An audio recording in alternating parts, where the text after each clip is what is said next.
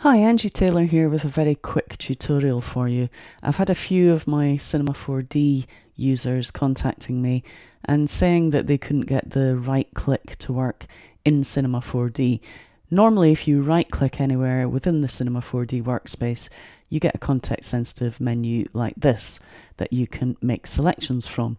In some versions of Cinema 4D, this may or may not work, and it can depend also on what hardware you have installed.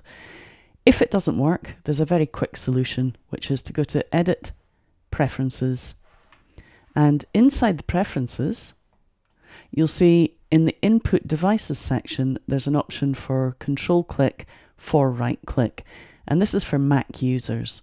So if you switch that on and then come out of there and then hold down the Control key and click, you will get a context sensitive menu. So that's a little workaround. You'll often find as well, if you're getting issues like that, it could be that you just need to update your software to the latest version. So try doing a software update. If that doesn't work, you can use that preference as a little workaround. And remember to visit my website at angietaylor.co.uk for more tips, tricks, and tutorials.